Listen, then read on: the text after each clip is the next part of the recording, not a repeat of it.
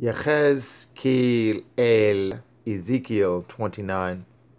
In the tenth year, in the tenth month, in the twelfth day of the month, the word of Yahweh came unto me, saying, Son of Adam, set your face against Pharaoh, king of Mitzrayim, and prophesy against him, and against all Mitzrayim. Speak and say, Thus says Adonai Yahweh Behold, I am against you, Pharaoh, king of Mitzrayim, the great dragon that lies in the midst of his rivers, which has said, My river is my own, and I have made it for myself. But I will put hooks in your jaws, and I will cause the fish of your rivers to stick unto your scales and I will bring you up out of the midst of your rivers, and hath all the fish of your rivers shall stick unto your scales.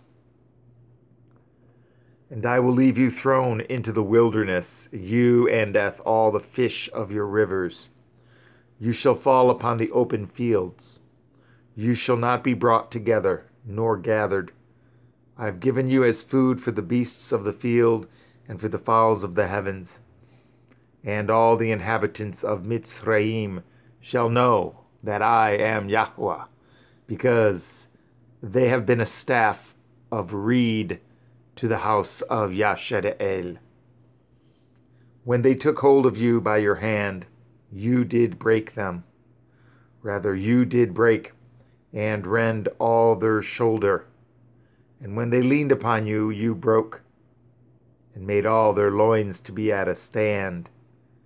Therefore, thus says Adonai Yahweh Behold, I will bring a sword upon you, and cut off man and beast out of you. And the land of Mitzrayim shall be desolate and waste. And they shall know that I am Yahweh, because he has said, The river is mine, and I have made it. Behold, therefore I am against you and against your rivers, and I will make the land of Mitzrayim utterly waste and desolate, from the tower of Senaneh, rather, Cheveneh, even unto the border of Cush. No foot of man shall pass through it, nor foot of beasts shall pass through it, neither shall it be inhabited forty years and I will make the land of Mitzrayim desolate in the midst of the countries that are desolate, and her cities among the cities that are laid waste shall be desolate forty years. And I will scatter eth the Mitzrayim among the nations, and will disperse them through the countries. Yet thus says Adonai Yahweh, at the end of forty years will I gather eth the Mitzrayim from the people whither they were scattered. And I will bring again at the captivity of Mitzrayim, and will cause them to return into the land of Pathrak, into the land of their habitation, and they shall be there a base kingdom. It shall be the basest of kingdoms, neither shall it exalt itself any more above the nations for I will diminish them, that they shall no more rule over the nations. And it shall be no more the confidence of the house of Yashara'el, which brings their iniquity to rem- remembrance when they shall look after them. But they shall know that I am Adonai Yahweh. And it came to pass in the seven and twentieth year, in the first month, in the first day of the month, the word of Yahweh came unto me, saying, Son of Adam, Nebuchadnezzar, king of Babel, caused at his army to serve a great service against Sor. Every head was made bald, and every shoulder was peeled.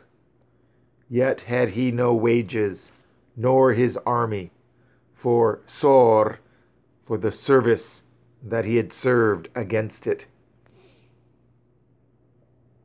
Therefore, thus says Adonai Yahweh, Behold, I will give the land of Mitzrayim unto Nebuchadnezzar, king of Babel, and he shall take her multitude, and take her spoil, and take her prey, and it shall be the wages for his army.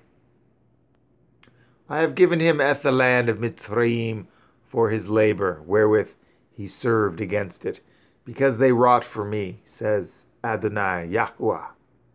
In that day will I cause the horn of the house of Yashara'el to bud forth, and I will give you the opening of the mouth in the midst of them.